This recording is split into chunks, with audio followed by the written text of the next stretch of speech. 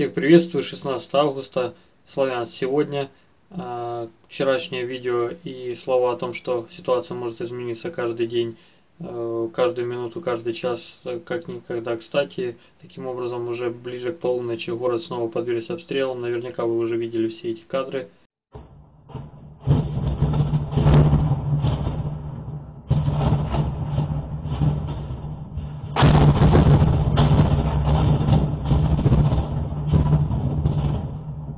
Пострадал частный сектор, горели жилые дома, а, также есть повреждения многоэтажных домов, побиты стекла.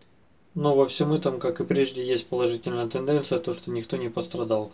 А, должен заметить то, что в последнее время очень много людей обращаются за помощью, э, собственно, э, ко всем, кто неравнодушный, кто может помочь, в силу того, что э, несут разрушение их дома, их, им больше негде жить.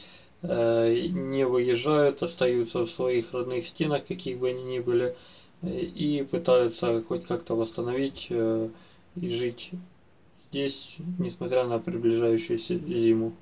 Есть еще одна небольшая новость. Отделение Приватбанка теперь будет работать в нашем городе, открывается, и будет обслуживать клиентов, будет работать терминал и, собственно, специалисты. Конечно же, слежу и читаю ваши комментарии с пожеланиями о добрых мирных ночах, если бы от нас что-либо зависело, а так, что есть, то есть. Присоединяюсь и желаю только мира и добра, и до встречи.